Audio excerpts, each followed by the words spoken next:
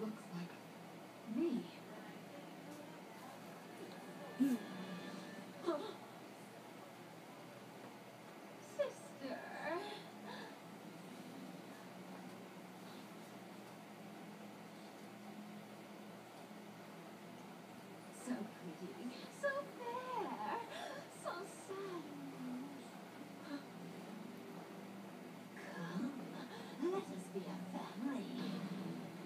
You are not my family.